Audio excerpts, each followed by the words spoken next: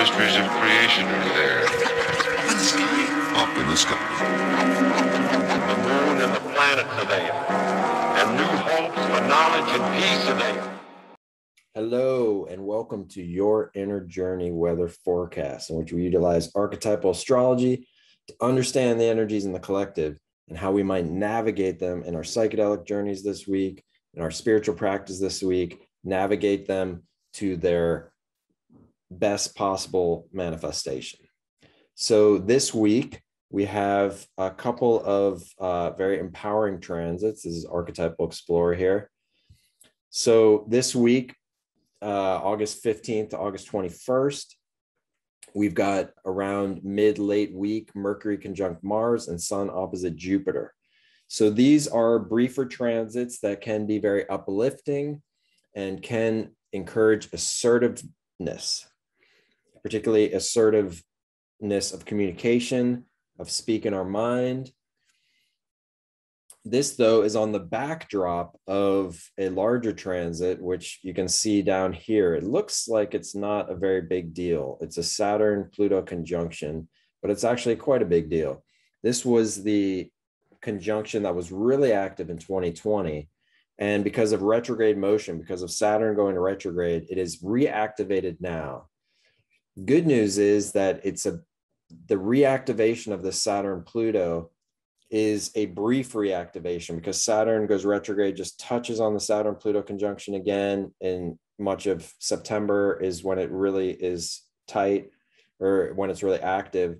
And then October, November, it moves forward, it moves away so basically saturn pluto in 2020 was the energy of feeling sense of confinement the sense of the boundaries kind of closing in around us um, it can reflect a kind of a fear response in people the sense of the heavy weightiness of mortality becoming intensified our awareness of it around us becoming intensified the sense of of projecting outwards our own fears onto situations or other people, a sense of feeling that there's a, a, kind of a heaviness, a heavy energy in the air, a heavy energy of, of stark energy, a tragic energy. And the flip side of it is that Saturn Pluto together are also the most strongest combination for reflecting the deep strengths of humanity. You know, on September 11th, we had a Saturn Pluto alignment, 2001 at that time. And the falling of the two towers was a very Saturn Pluto uh, phenomenon because the structures, which is represented, represented by Saturn, were like annihilated and razed in this plutonic. Pluto's associated with death, rebirth, kind of the powerful, evolutionary, transformative, destructive and thus creative energies of life, life's ability to both devour itself, destroy itself, and rebirth it from itself. And in September 11th, you know, was a very kind of almost like literal example of the structures of Saturn eh, eh, experiencing that plutonic fire and destruction and, and just getting razed. And so, and also similarly, the Saturn Pluto energy of fear, that went around that of calamity, mortality, death, also the sense of othering, the sense that at that time, what happened was there was a lot of sort of projecting of the negativity and the fear onto someone outside you know the war on terror you know like terror is like something that we feel inside. So if you have the war on terror you know and you're engaging in, in a war outside it's there's a confusion there because actually it's kind of very poetically clear that you're actually on war against yourself and you're projecting your own terror outside the kind of invasion of afghanistan of iraq and then right so at that time there was this sense of of of kind of outward action that was that was engaged in as a sort of like retribution of fear, of pain, of hurt, of destruction that happened on US soil. Similarly, there was a real othering in terms of, you know, who could travel, who could board planes, you know, who, how people dress, how people are looked at, you know, became objects of fear, of terrorism. This is very common during Saturn Pluto times, the sense of othering And so now we are seeing it again, sense of fear projected outwards. And so, you know, we can see it in different ways, like Asian hate or or for instance, like, you know, the vaxed versus the unvaxed. you know, everybody's projecting onto the other people. And and then board, countries are closing their borders to other countries so this alignment, the Saturn Pluto, the Saturn and coming back into the Saturn Pluto conjunction that was very active in 2020 is just been kind of creeping up over the past, you know, basically two months. And now it's getting as tight as it's going to get. And in September, we'll get as tight as, as it's going to get, which is not very tight. It's not a very exact alignment. You can see on this graph you know something's got to be up at the top of the graph to be an exact alignment this alignment is very as much down here so it's 15 degree orb so it's not that tight it's 15 degrees away but it's tight enough to be active so that's why there's this kind of like a wave of familiar kind of sensation impressions from 2020 you know oh, okay delta variant everybody's got to wear the mask again countries are closing borders again you know people are getting sick again uh, there's this fear of mortality again. It's a heavy atmosphere in the air. People are dying. I know of a person who died recently of, of COVID. And so it's a return. It's a return to this energy, which, you know, it really sits on us in, in September and then it and then it dissipates, you know, over October, November, December. By December, the, it should be really out of alignment. I mean, it should be out of orb, so no longer active. And all of this is to say that usually with the with a transit the last pass of the transit is the last chance for us to integrate the positive sides of the transit and like i said saturn pluto is can reflect the humans drawing out from the depths of themselves the most positive noble side of their character in the face of challenge the september 11th example would be that the, the towers are falling but even though the towers are unstable and looking like they're going to fall these firemen, fire people, uh, rescue people, a lot of them charged in there anyways to save who they could save. And if they couldn't save them and they all, then they perished too along with them. That was something that they accepted along with their job. So it was this steely determination. It was this sense of duty, like depth of duty that that's that transcends even their own mortality.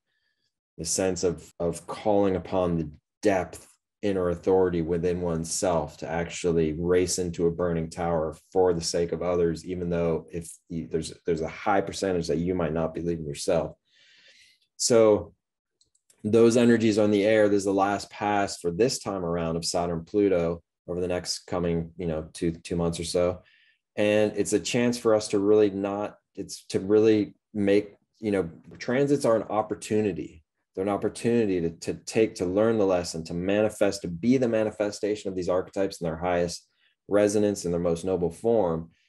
And so it's a time for us to dig deep into our maturity and tap into it and, and make the most out of this transit in our psychedelic journeys that can be, you know, facing in the journeys like real, the reality of mortality, you know, the reality of mortality and tragedy, that that's an aspect of, of existence.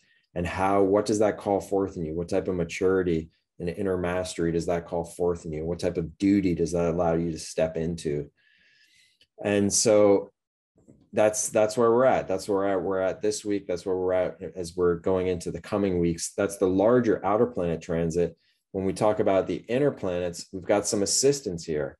We've got some positive, more short-term transits in the just this week, which is Mercury conjunct Mars and Sun opposite Jupiter. So sun opposite Jupiter in our psychedelic journeys, it can be a sense of hope. It can be a sense, the sun, the sense of identity, Jupiter, the sense of upliftment, the sense of success, upliftment, kind of a buoyancy, of optimism. We can tap into that. You know, we can tap into that. And I think I'm tapping into it a little bit right now by describing the Saturn Pluto conjunction in positive terms, you know, the positive potential there of, of humanity to reach into the depths of itself and come up with come up with some nobility. Mercury conjunct Mars, that can be very empowering. We want to watch out for it though. In psychedelic journeys, we want to let energies out that are pent up and let them out verbally. You know, it could be like yelling or, uh, you know, like admitting that we're angry at somebody or something like that.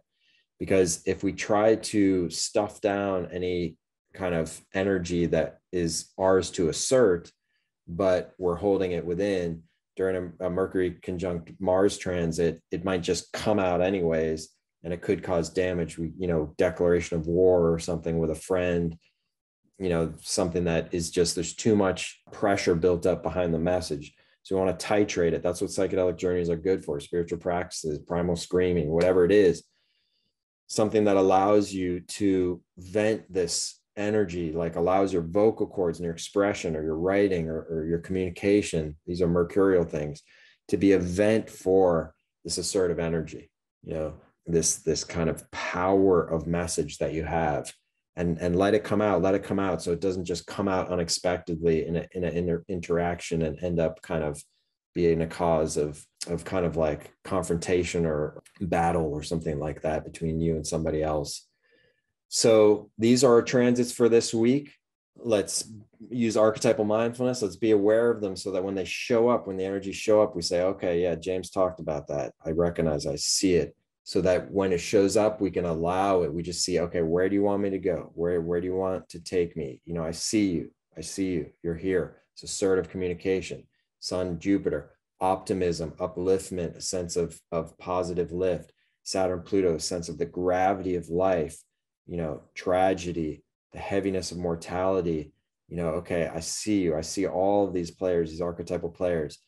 Now let me just be with you in my presence in the present moment and see where you want to take me. How do you want to manifest? How do you want the carpet of my life to unfold before me?